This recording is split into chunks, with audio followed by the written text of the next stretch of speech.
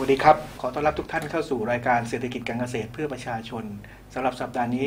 ขอเกาะกระแสสถานการณ์ปาล์มน้ำมันเลยนะครับ โดยเฉพาะประเด็นที่จะมีการนำเข้าน้ำมันปาล์มจำนวน 50,000 ตันนะครับ ซึ่งในวันนี้เราได้รับเกียรติจากเลขาธิการสำนักงานเศรษฐกิจการเกษตร ในฐานะเลขานุการคณะกรรมการนโยบายปาล์มน้ำมันแห่งชาติด้วยนะครับ ซึ่งวันนี้ท่านอยู่กับผมแล้วครับ ท่านเลอศักดิ์ลิ้วตระกูลไปบุตรสวัสดีครับ ครับ สวัสดีครับนะครับก่อนที่เราจะเล่า ไปสู่ลงลงลงในรายละเอียดเกี่ยวกับการนำเข้าน้ำมันปาล์มจำนวนห้าหมื่นตันนะครับครับ ผมอยากให้ท่านช่วยเล่าถึงสถานการณ์ปาล์มน้ำมันว่าขณะนี้เนี่ยมันอยู่ในจุดไหนหรือหรือเป็นอย่างไรนะครับ ครับเอ่อท่านผู้ชมครับในระยะ 2-3 ปีที่ผ่านมาเนี่ยก็คงทราบดีว่าเอ่อผลผลิตของน้ำมันปาล์มเนี่ยค่อนข้างที่จะผันผวนนะฮะอันเกิดมาจากสภาพของอากาศแปรปรวนนะเรื่องของภาวะโลกร้อนเรื่องของภัยแล้ง แม้ว่าเราจะมีเนื้อที่ในการเพาะปลูกผลผลิตเพิ่มขึ้นก็ตามนะครับแต่อิทธิพลของภัยแล้งเนี่ยก็ทำให้ผลผลิตต่อไร่เนี่ยกลับลดลงนะครับในช่วงของการออกสู่ตลาดซึ่งเราสามารถที่จะสังเกตได้นะครับจากการเปลี่ยนแปลงของปริมาณน้ำฝนนะครับโดยเฉพาะอย่างยิ่งเนี่ยในปี 2557 เนี่ยมีปริมาณน้ำฝนต่ำกว่าปี 2556 นะครับซึ่ง 2556 ก็ได้ประสบภัยแล้งอยู่แล้ว แต่ปี 2557 เนี่ยมีปริมาณน้ำฝนต่ำกว่าอีกนะครับ ซึ่งมีข้อสังเกตก็คืออย่างเช่น ภาคใต้ฝั่งตะวันออกนี่ยปริมาณน้ำฝนเนี่ยลดลงกว่าปี 2556 ถึงร้อยละ14 นะครับ แล้วภาคใต้ฝั่งตะวันตกเนี่ยก็ลดลงถึงร้อยละ9นะครับ ส่งผลให้ปี 2557 เนี่ยมีผลผลิตเหลือเพียง 12.5 ล้านตันนะครับ ซึ่งเดิมเราคาดว่าจะอยู่ในระหว่างอ่า13 ล้านตันนะครับ ฉะนั้น ในปี 2558 เนี่ยเราก็คาดว่าผลผลิตนะน่าจะอยู่ในอ่าใกล้เคียงกับปี 2557 ถึงแม้จะมีพื้นที่เพิ่มนะครับครับแต่ยังไงก็คาดว่าไม่เกิน 13 ล้านตันนะครับ โดยไตรมาสแรกเนี่ยผลผลิตอยู่ออกมาสู่ตลาดเนี่ยน้อยกว่าประมาณการไว้ร้อยละ 17 หรือผลปาล์มทลายเนี่ยประมาณ 2.3 ล้านตัน นะครับแล้วก็ทยอยออกสู่ตลาดขึ้นมาเรื่อยๆ ช่วงออกสูงสุดเนี่ยเราคาดว่าจะออกประมาณเดือนพฤษภาเดือนสิงหา ซึ่งประมาณร้อยละสิบถึงสิบเอ็ดต่อเดือนนะครับจากสภาพการผลผลิตที่น้อยลงในปี 2557 เนี่ยส่งผลให้ผลปาล์มเนี่ยทลายเนี่ยราคาสูงถึงกิโลละ 5 บาท หรือบางโอกาสเนี่ยก็ใกล้เคียง 6 บาทถึง 5 บาท 80 แล้วมีบางวันถึง 6 บาท 10 ก็มีนะครับ โดยราคาผลปาล์มนั้นทั้งทลายที่เกษตรกรขายได้เนี่ยเฉลี่ยในปี 2557 เนี่ยอยู่ในกิโลกรัมละ 4 บาท 27 สตางค์ซึ่งถือว่าค่อนข้างสูงนะครับ ส่วนในปี 2558 เนี่ยเฉลี่ย 3 สัปดาห์แรกของเดือน มกราคมเนี่ยตกกิโลกรัมละ 5 บาท 45 สตางค์ซึ่งสูงขึ้นจาก 5 บาท 19 สตางค์ในช่วงปีเดียวกันในปี 2000 ในในช่วงเดียวกันในปี 2556 นะครับ ซึ่ง เป็นไปตามสถานการณ์การอุปทานตึงตัวอะไรต่างๆ เหล่านี้ซึ่งมาจากผลปาล์มเนี่ยปรับตัว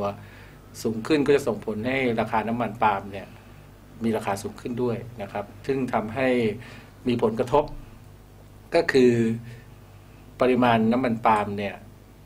เรากำหนดราคาโดยกระทรวงพาณิชย์นะครับ ในขวดละ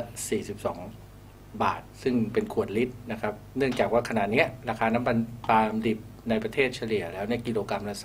35 ถึง 36 บาท ซึ่งสูงกว่าราคาต่างประเทศ ก็คือราคาที่มาเลเซียหรืออินโดนีเซีย ราคาประมาณ 21ถึง22 บาทเท่านั้น ครับ ครับนี่อะครับ จากสถานการณ์อ่าปริมาณน้ำมันปาล์มดิบของของไทยที่มีภาวะตึงตัวอยู่ขนาดนี้นะครับ ไม่ทราบว่ากรนป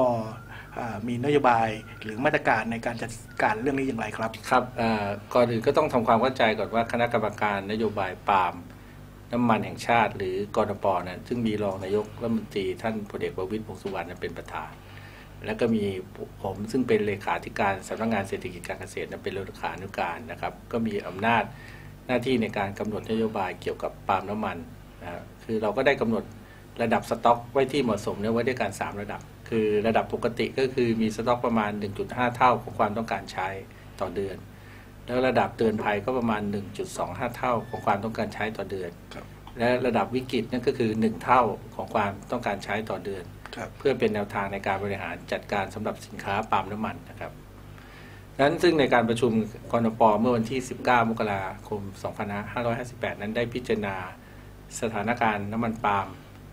ปัจจุบันอย่างรอบคอบนะครับ โดยเฉพาะอย่างยิ่งคณะอนุกรรมการเพื่อบริหารจัดการปาล์มน้ำมันและน้ำมันปาล์มนั้น ได้มีการสำรวจนะ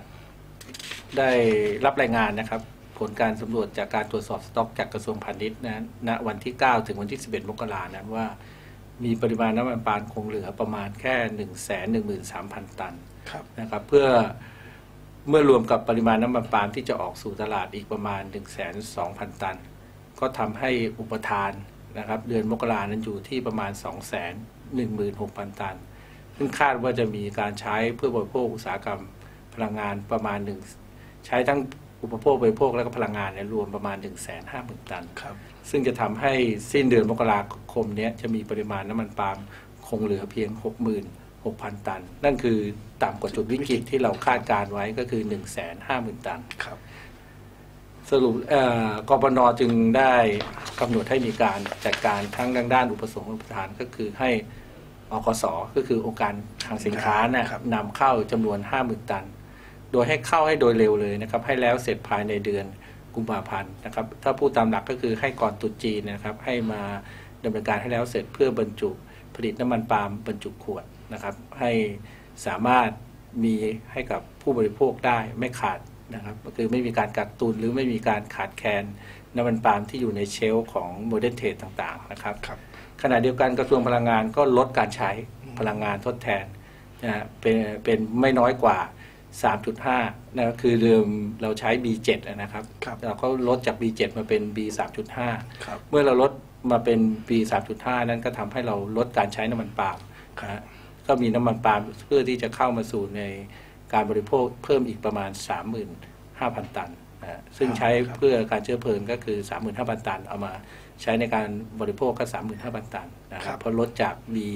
มีเจ็ด B7 มาเป็น B 3.5ครับครับ พร้อมทั้งมอบหมายให้กระทรวงพาณิชย์นั้นเตรียมการลดผลกระทบการนำเข้าให้แก่เกษตรกร ผู้ปลูกปาล์มนะครับ ให้ได้ราคา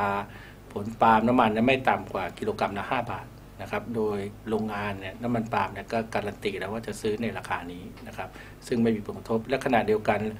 โรงงานไบโอดีเซลเนี่ยก็จะรับซื้อน้ำมันปาล์มดิบ จากโรงสกัดน้ำมันปาล์มไม่ต่ำกว่ากิโลกรัมละ 30 บาท